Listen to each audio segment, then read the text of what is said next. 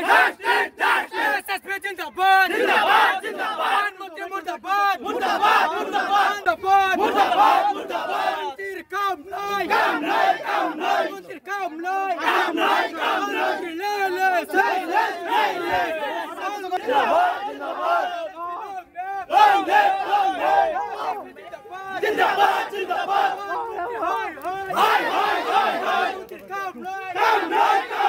সংখ্যালঘু সংগ্ৰাম পৰিষদৰ তৰফৰ পৰা চন্দ্ৰমোহন পাটোৱাৰী ডাঙৰীয়াক বনমন্ত্ৰীক মই সকীয়াই দিছোঁ ধিক্কাৰ জনাইছোঁ।